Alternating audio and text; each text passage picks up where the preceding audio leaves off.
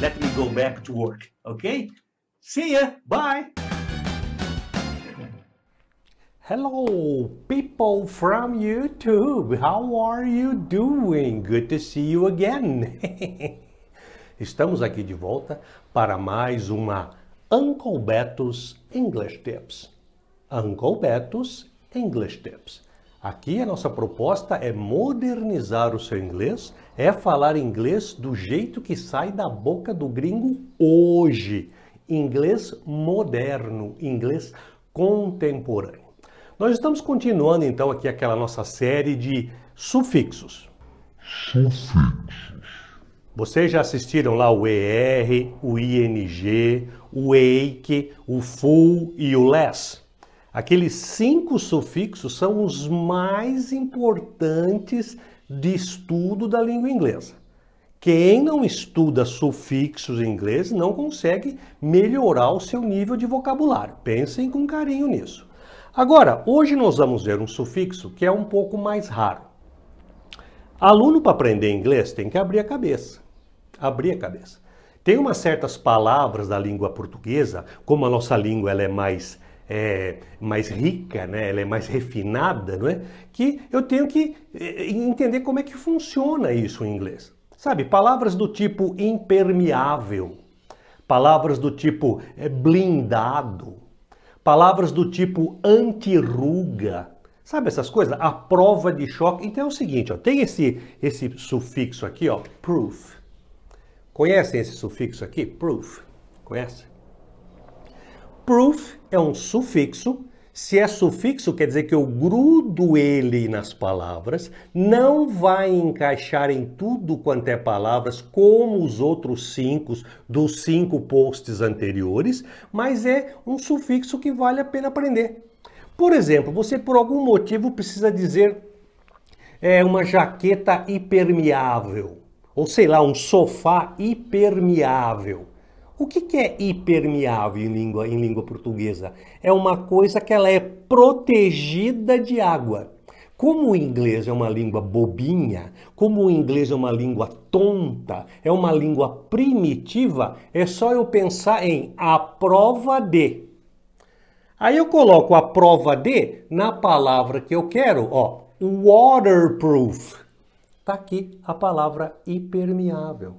Waterproof a prova d'água. Você quer montar, por exemplo, a palavra a prova de bala? Blindado. Blindado. Blindado o que, que é? A prova de balas. Então você pega a palavra bala, né, que é projétil, bala, bullet. Bulletproof. A prova de bala. Blindado. Olha que legal. Você quer dizer, você quer comprar um, um creme anti-ruga. O que é uma coisa anti-ruga? Em português eu uso o prefixo, só que é a prova de rugas. Então é wrinkle proof. Wrinkle proof. E por aí vai. A prova de choque. Shock proof. Shock proof. É. A prova de som. Uma sala que ela é a prova de som, aquela que, que não vaza barulho, ela é o que? Soundproof. Tá vendo como é que funciona? Se vocês entenderem como que eu consigo colocar esse proof nas palavras em que eu preciso, é um sufixo razoavelmente importante.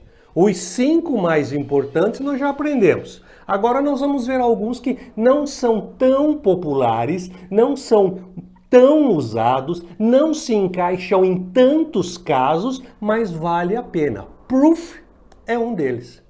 Waterproof, bulletproof, wrinkleproof, shockproof, waterproof e assim por diante. Pensem com carinho, tá aqui mais um sufixo da série. Só de você estudar todos os sufixos, abrirem a cabeça, entenderem como é que funciona, vocês já colocam na cabeça de vocês, meus queridos, mais de mil. Mais de mil. Vocábulos.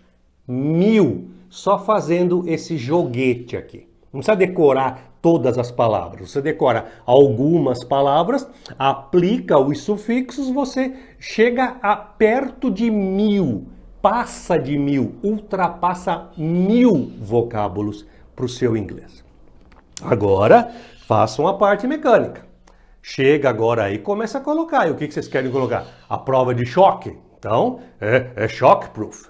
A prova de a prova de bala, bulletproof. Vai, vai, treinando, vai treinando e vendo se encaixa. Como eu já disse, o proof não é tão interessante como os outros anteriores, mas vale a pena a gente aprender esses sufixos mais raros que vão dar que vão dar continuidade, que você vai continuar trabalhando a língua inglesa. Espero que vocês tenham gostado. Pensem com carinho nessas aulas dos, dos sufixos e eu estarei sempre por aqui sempre colocando para vocês uma forma mais inteligente de se aprender inglês, usando a prática, usando a técnica, usando artifícios, usando alavancas, atalhos. Pensem com carinho, para mim é um prazer estar aqui. Curtam e compartilhem, porque só assim eu vou poder continuar aqui esse meu humilde projeto de dar dicas diferenciadas que vocês não encontram em nenhum outro canal. De dicas de inglês na internet, em particular no YouTube. Bye, baby! Bye, baby! Bye, baby! Bye, baby! by me.